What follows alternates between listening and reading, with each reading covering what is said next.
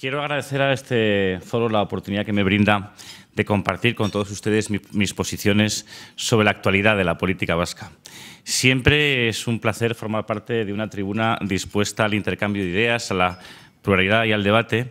Y de verdad que muchas gracias por su invitación y por su eh, presentación. Y confío, eh, como aseguraba el que me antecedía en uso de la palabra, que esta intervención sirva para acercar un poco más la realidad que estamos viviendo hoy en el País Vasco.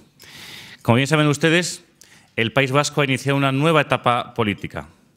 Las razones que han desembocado en este escenario, a mi juicio, no ofrecen ninguna duda.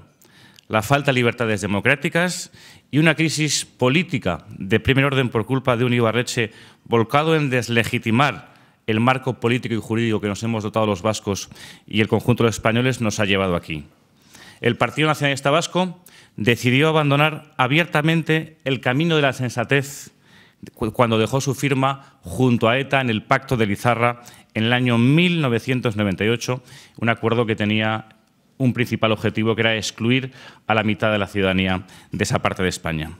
Aquella foto marcó el comienzo de un camino de crispación, de enfrentamiento y de exclusión que termina con el resultado electoral del pasado mes de marzo y con el consiguiente acuerdo entre populares y socialistas.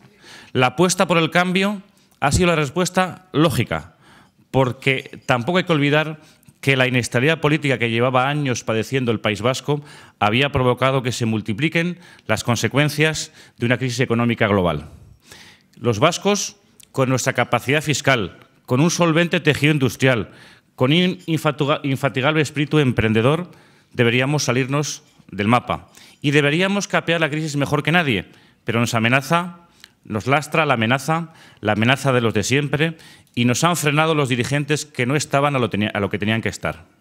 La verdad es que no ha contribuido a ello acuerdos como el de Lizarra, cuya reedición felizmente ha abortado la acción de la justicia hace escasas semanas.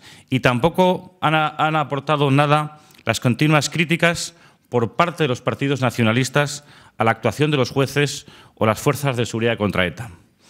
Es ilustrativo y significativo que jamás encontremos una muestra de alegría en el nacionalismo democrático ante la detención de Netarra y, por el contrario, siempre oigamos dudas y pegas ante cualquier actuación judicial o policial.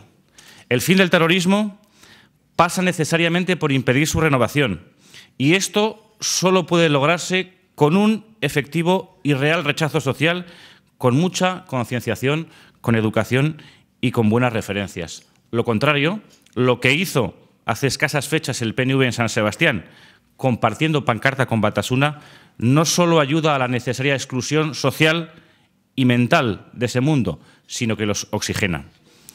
Euskadi necesitaba y necesita un gobierno vasco firme en la defensa de los derechos y las libertades de todos, de todos los vascos, de los nacionalistas y de los no nacionalistas. Y quienes han dirigido el país en estos últimos 30 años no han sabido o no han querido luchar por una plena normalidad democrática. Yo estoy convencido que en el País Vasco cabemos todos y somos necesarios todos, todos menos ETA. Esa es la gran asignatura pendiente que tenemos.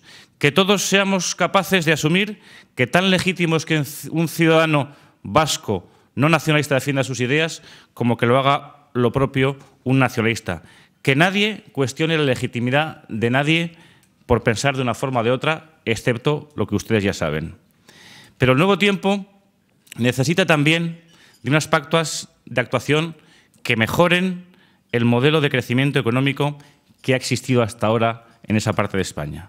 La obligación del Partido Popular en Euskadi, además de consolidar las iniciativas que nos acerquen a la paz y a la convivencia con un respaldo responsable al nuevo Gobierno vasco, es la de marcar y asegurar políticas económicas eficaces que puedan situar a Euskadi a la cabeza del crecimiento de nuestro entorno. Eso es lo que yo le llamo responsabilidad exigente, que es nuestro papel en la política vasca actualmente. No basta con cambiar personas ni con cambiar siglas. No nos vamos a conformar ni podemos conformarnos con eso. Es necesario que avancemos también y asumamos asuntos como el desafío económico que tenemos por delante con decisión, con iniciativa y con empuje.